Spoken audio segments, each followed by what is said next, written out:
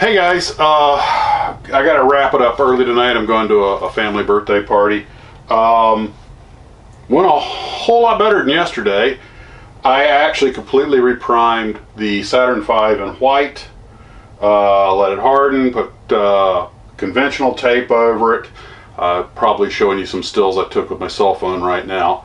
And uh, as you can see, it pretty much went, you know, the standard way.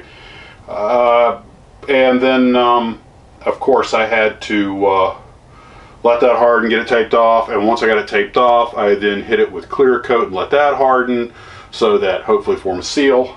So uh, I just put a second coat, which should be the final coat of black on it. And when I unmask it, it should be okay. Now, I, I this is the top section, and I masked it off. And as you, I, I took some stills, but I don't know how good they are. But everything's taped down. But as I was painting it, I turned it a little bit. Apparently, I didn't have it as secure as I thought, and this popped off, and I got some overspray. Now, that's nothing that won't be hard to clean up.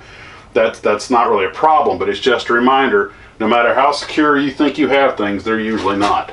And I got to work on that uh, resin kit that the Wolfman sent me. Uh, kind of modified a little bit, which I may have already said in the. I think I took some footage earlier. Maybe perhaps I'm going to splice it in right here.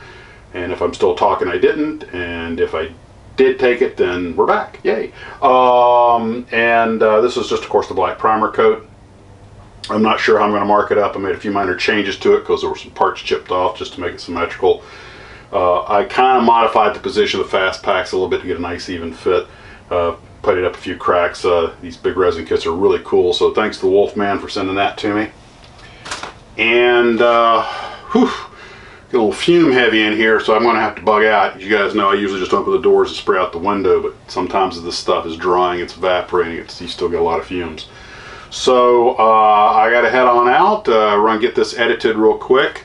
I did get a little bit of work done on the Amazon. I got the red on there. Tomorrow I'll probably put the, uh, I'll probably decal on the, the black uh, waterline stripe and then uh, finish clear coating it and uh, get the decals on it, clear coat it again, and she'll pretty much be ready. A really neat little kit. Um, so thanks for watching guys uh, sorry so short but you know uh, as you can tell by I tried to edit in a new intro today take a little more updated footage but uh, the drone footage is the same but the uh, just thought I'd take a few uh, images inside the TARDIS which of course is a holy friggin mess because I got so many projects going oh that's it again sorry for the bad audio I don't have time to use the good audio and sync everything I, I got to get rolling got to get running so another quick and dirty and uh, maybe we'll have coffee in the morning. You guys take care, and we'll see you later. bye bye.